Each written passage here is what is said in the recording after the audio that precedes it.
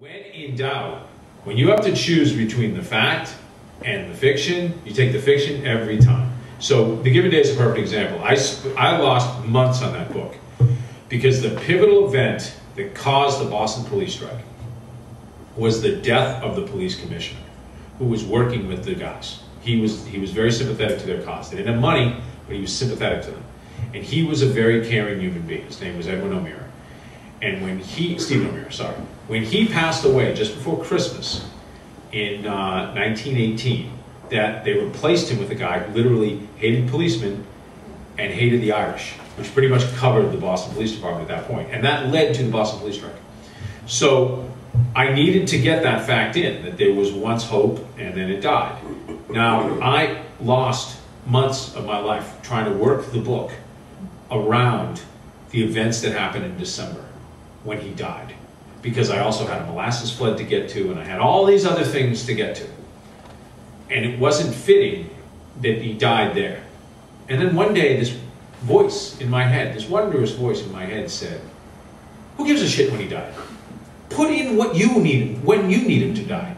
Put in what's dramatically interesting. What are you going to run into the only Stephen O'Meara expert in the country someday? He's going to call you out in a crowd. You know, well, actually, he died December of 18th, you know, not January 27th, you know. And that was a great moment because I just said, now come on, that doesn't really matter. The fact is that his death caused the Boston police strike. The specific details of his death are irrelevant. So I needed, again, I had to choose between drama and choose between fact. I took drama. Same thing when I was writing, well, I was writing this book. You'll see a, uh, Joe ends up, uh, the main character of this book, um, the first part is very kind of Joseph Campbell influenced, and he has to go down into his cave. So he ends up going to prison. It's very important at a sort of a mythological level that you go down and then come back up again. So he ends up going to prison. The prison in the United States at that point was Charlestown State Prison which was the, one of the worst prisons in the United States. And it was where that summer, in the summer of the book, Sacco and Vanzetti were executed.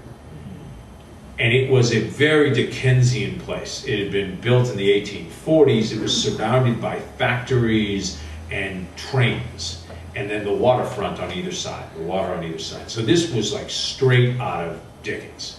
Smoke everywhere, smell of chemicals, and this really, really hideous Gothic prison in the middle of it all. Problem is, there's no wide photographs of it. Nothing. You get one. You get find one type one. That's it. There's no descriptions um, outside of you know the sort of basics. So as I was painting the canvas, I kept getting obsessed with what the factories were. What were the factories? I went to the Mass Archives. I went to the Boston Public Library. I went everywhere to find out what these factories were. And I couldn't find anything. Couldn't find a word on any of it. And then one day I went, who cares? Make it up. And I made it up, and it was just as good. Because who cares? What I would have changed the word tar for the word smoke. I, mean, I don't know what I would have changed, but it, it all worked out. It's all fine. So in the end, if you got to choose between the fact and the legend, print the legend there.